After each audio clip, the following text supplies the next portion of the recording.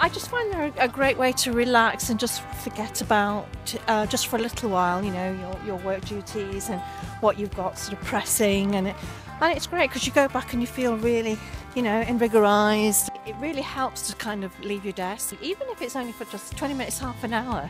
You know, it really clears your head and it makes you that much more productive really in the afternoon. I, I find anyway. So it's just making making time for it really.